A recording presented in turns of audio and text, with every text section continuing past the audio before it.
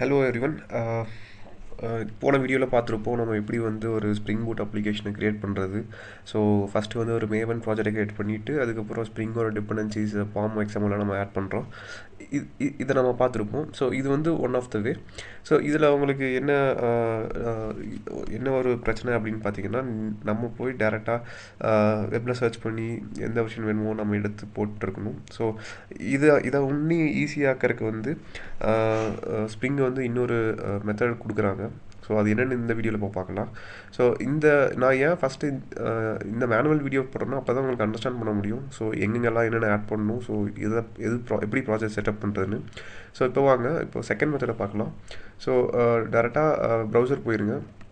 Browser போயிட்டு spring initialiser அப்படின்னு சொல்லிட்டு நீங்கள் கூகுளில் சர்ச் பண்ணீங்க அப்படின்னா ஸ்டார்ட் டாட் ஸ்ப்ரிங் டாட் ஐயோ அப்படின்னு சொல்லிட்டு ஸ்ப்ரிங் இனிஷியலைசர்னு சொல்லிட்டு ஒரு ஒரு லிங்க் வரும். ஸோ இந்த வெப்சைட்டை ஓப்பன் பண்ணுங்கள் ஸோ இந்த வெப்சைட் ஓப்பன் ஆனானே உங்களுக்கு தெரிஞ்சிடும் ஸோ இது எதுக்கு அப்படின்னு சொல்லிட்டு. ஒன்றும் இல்லை. நம்ம வந்து நம்ம இன் ஐடியில் இன்டெலிஜியில் நம்ம ஒரு ப்ராஜெக்ட் மேவன் ப்ராஜெக்ட் கிரியேட் பண்ணிவிட்டு என்னென்ன டிபெண்டன்சிஸ் ஆட் பண்ணோம் இதுதான் இதுதானே நம்ம பண்ணோம். ஸோ இதே தான் இங்கேயும் உங்களுக்கு ப்ரொவைட் பண்ணுறாங்க என்னென்னு பார்த்தீங்கன்னா நம்ம என்ன நம்ம என்ன கிரியேட் பண்ணுறோம் மேவன் ப்ராஜெக்டா கிரேடல் ப்ராஜெக்டா அப்படின்னு செலக்ட் பண்ணிக்கலாம். லாங்குவேஜ் என்ன யூஸ் பண்ண போகிறோம் ஜாவா கோட்லினா குருவி நம்ம ஜாவா டிஃபால்ட் இதெல்லாமே டிஃபால்ட்டாக இருக்குது பாருங்கள் இங்கே ஸ்ப்ரிங் போர்ட் வெர்ஷன் வந்து இங்கே பாருங்கள் இதான் லேட்டஸ்ட் வெர்ஷன் ஸோ அவங்க இதெல்லாம் கொடுத்துருக்காங்க. ஸ்னாப்ஷாட்னா ஒன்றும் இல்லை. இது லேட்டஸ்ட்டாக இப்போ தான் லைக் பீட்டா வெர்ஷன் வச்சுக்கோங்க. ஸோ இது இது வந்து ஸ்டேபிள் வெர்ஷன் அப்படி வச்சுக்கோங்க. ஸோ uh, இங்கே வந்து நம்ம one point five point nine இல்லை. I mean one point five versions இல்லை.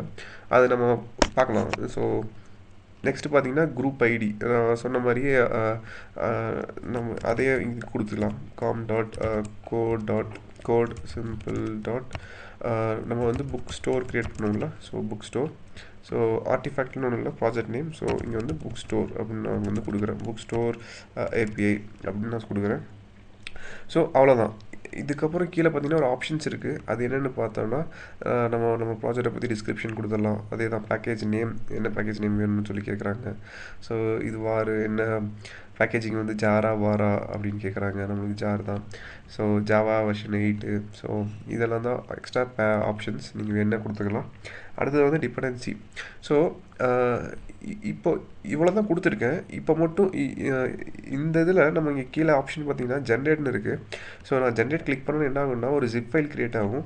ஜிப் ஃபைல்னா ஒன்றும் இல்லை. அது வந்து நம்ம ப்ராஜெக்ட்டு ஜிப் ஃபைல் நம்ம நம்ம என்ன க்ரியேட் பண்ணுறோமோ அதை என்ன என்ன நம்ம ப்ராஜெக்ட்டுக்கு தேவையோ அதை அப்படியே ஜிப்பாக கொடுப்பாங்க. எக்ஸ்ப்ளோர்னால் ஒன்றும் இல்லை. அங்கே என்ன ஜிப்பு வரப்போதோ அதுதான் எக்ஸ்ப்ளோரில் காமிப்பாங்க. இது வந்து ப்ரிவியூ தான். ஸோ நம்ம இப்போ இப்போது இந்த ஸ்டேஜில் நம்ம எக்ஸ்ப்ளோர் கிளிக் பண்ணி என்ன இருக்குன்னு பார்க்கலாம்.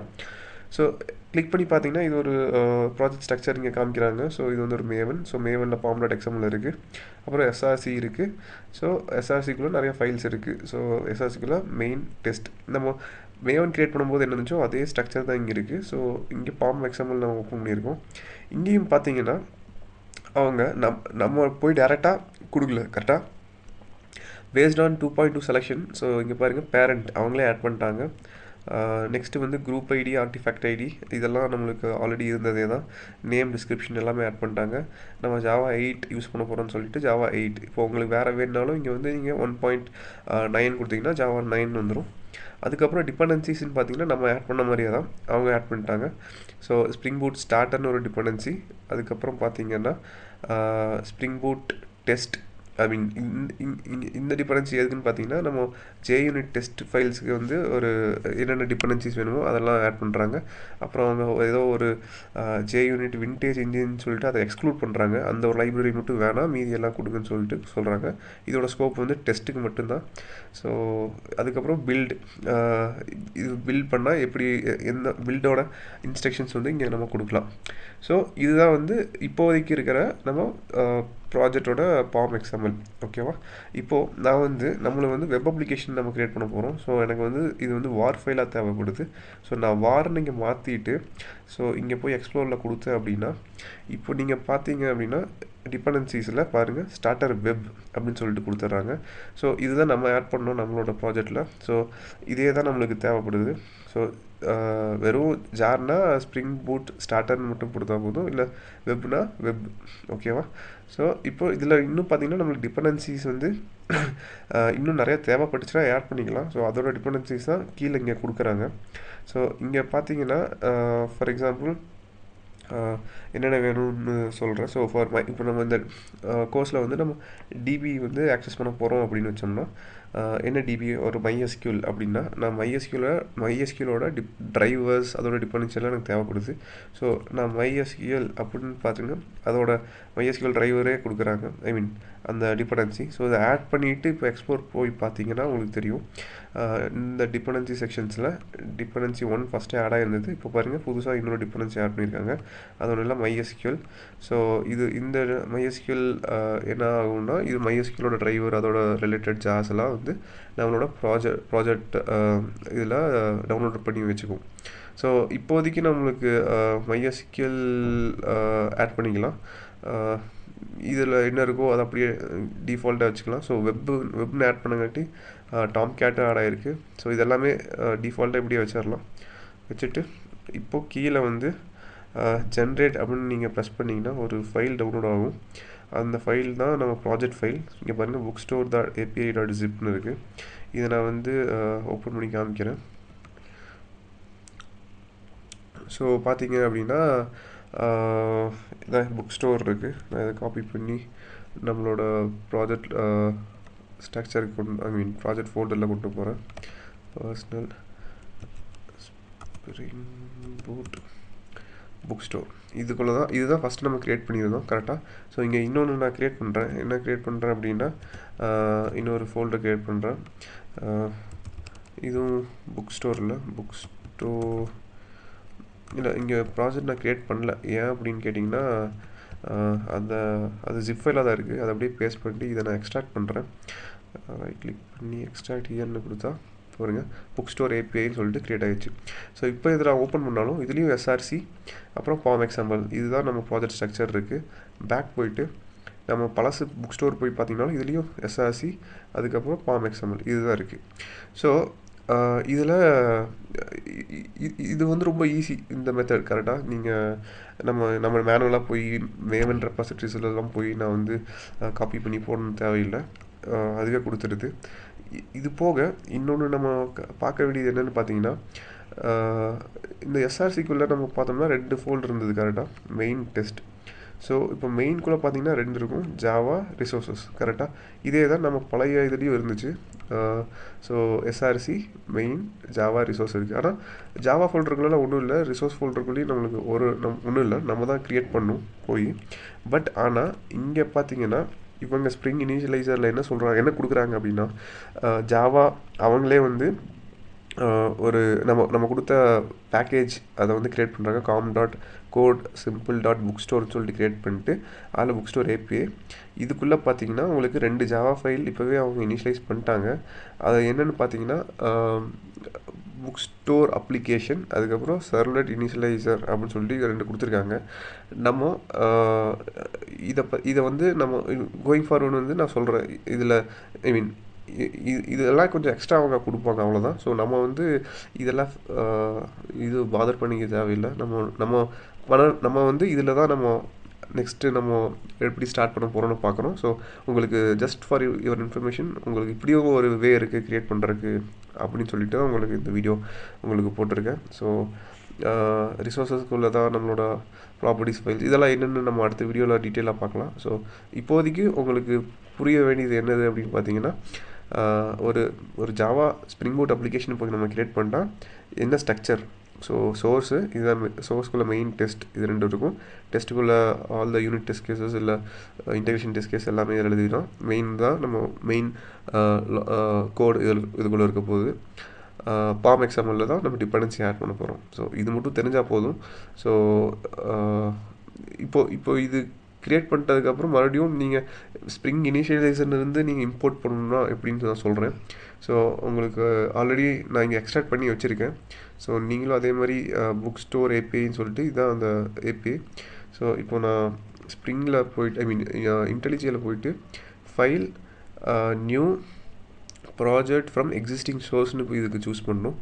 சூஸ் பண்ணிட்டு இதோட லொக்கேஷன் எங்கே அப்படின்னு நான் பார்க்குறேன் ஸோ பர்ஸ்னல் பர்ஸ்னலுக்குள்ளே ஸ்ப்ரிங் பூட் ஸ்ப்ரிங் பூட் இருக்குது ஸோ இதுக்குள்ளே ஸ்ப்ரிங் ஏபிஐ இது தானே ஸோ இதோட ப்ராஜெக்ட் ஸ்டா ஃபோல்டர் ஃபோல்டரை செலக்ட் பண்ணி ஓகே கொடுத்துட்டீங்க அப்படின்னா உங்களுக்கு இது கேட்குது இம்போர்ட் ஃப்ரம் எக்ஸிஸ்டிங் மாடல் மேவனா கிரேடெல்லான்னு கேட்குது ஸோ இது வந்து மேவன் தான். நெக்ஸ்ட்டு ஸோ எல்லா ஆப்ஷன்ஸும் டிஃபால்ட்டாக இருக்கிறோம். நீங்கள் ஒன்றும்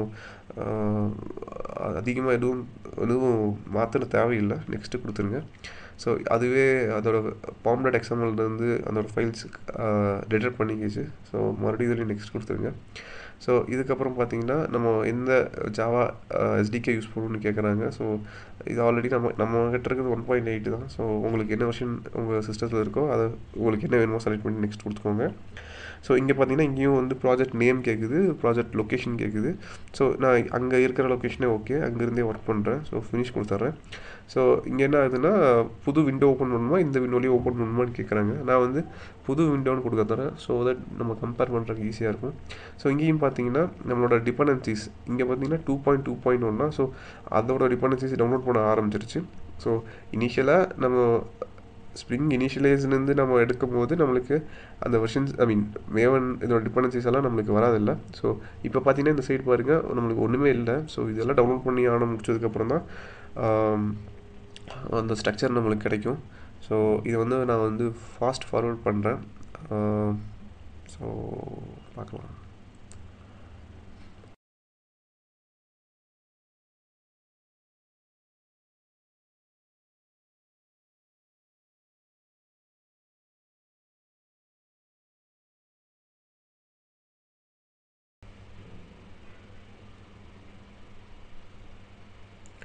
ஸோ ஆல்மோஸ்ட் முடிய போகுது.